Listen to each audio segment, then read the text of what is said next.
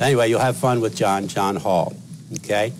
My good friend, who I call my Benford buddy, uh, Dr. Mark Nigrini, uh, he'll be in this morning right after Harry. Um, he was watching our presentations yesterday and he was very impressed with a lot of things, but he liked the way the setup was here and he really enjoyed the speakers. Now he's a man that uh, some of you probably have heard about before, very, very interesting.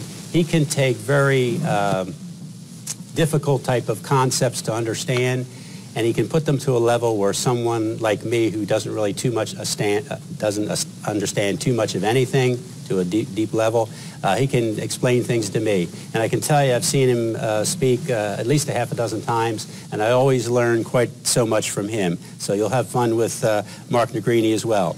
And then finally, Harry Markopolos. He'll be our speak, first speaker up this morning. We're not going to solve this as individuals. We're only going to do it as teams together all of us together. And so thank you. Thank you very much. Appreciate it. Have a good day.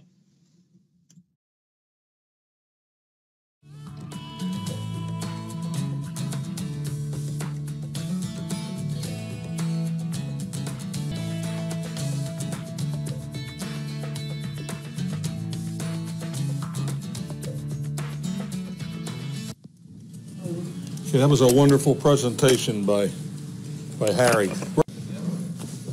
Nice to be here. Uh, we have a good program today. So, I'm going to be talking about the fingerprints of fraud numbers, and we're going to be talking about the actual fraud numbers that fraudsters use. Well, which schemes do I care about? I care about occupational fraud, alive and well in 2020. Bribery, alive and well in 2020. And financial statement fraud, alive and well as well. We start off with Katherine Harrell. I took that photo myself. Katherine worked at that bank in South Philadelphia. And I feel like I wanted to be talking to my students. When I talk to my students, I tell them, you never ever want to document in this world that starts off with the words United States of America versus followed by your name. And I repeat this many times.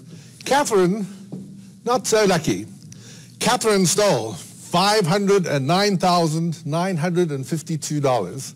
And you would think that if you stole $509,952, you have to be savvy. You have to know about accounting. You have to know about preventive and detective controls. You have to know how to bypass these controls. You have to be really good. No. She simply, she was a branch manager, she simply went into customer accounts and withdrew funds. So, this is the first one, and you can see, and we're going to be looking for round numbers now. So let's move on to the second slide. And you can see that she started with a fraud of 44,000. This is quite unusual. 44,000, and then I also tell my students, I say, how much does somebody have to take out of your account before you notice it? A, 44,000. B, less than 44,000.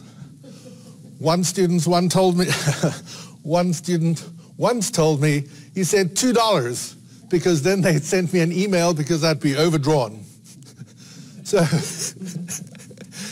44,000, so that's the starting, and this fraud lasted for two years. So let's have a look at some of the numbers. Right at the bottom here, um, I forget the date, is it August 22nd?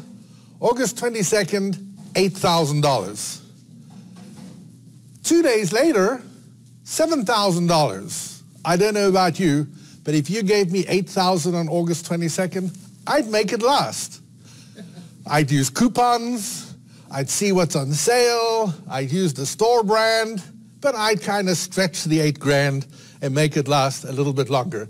And there we see another transaction just a few days later. So these are the fraudulent withdrawals out of customer accounts. And what we should notice here is she liked round numbers. More. Withdrawals from customer accounts, and again, she liked the round numbers. Well, this takes a while. She stole 509,000. Oops. There we go. Still busy with the numbers? Still busy with the numbers. We have a little quiz at the end here. In addition to you having to do that very complicated thing about saving the letter, here's the quiz. Embezzlement of funds by a bank employee. 39 counts, oops, judgments in a criminal case. So, you steal 509,952. How much do you get? That's the next page of the judgment. It's like a quiz for everybody at home as well. But you can answer from the audience. Yes, how much time in jail? Actually, Regina, you are not that wrong. One day to remain in the holding cell with the U.S. Marshals until 5 p.m. I ask you, what time does this conference, uh, Frank, finish today? quarter to five. Quarter to five. So, for fi- extra 15 minutes, that was her sentence. Aha! There's more to it. Three months later, a new indictment. She is in trouble again.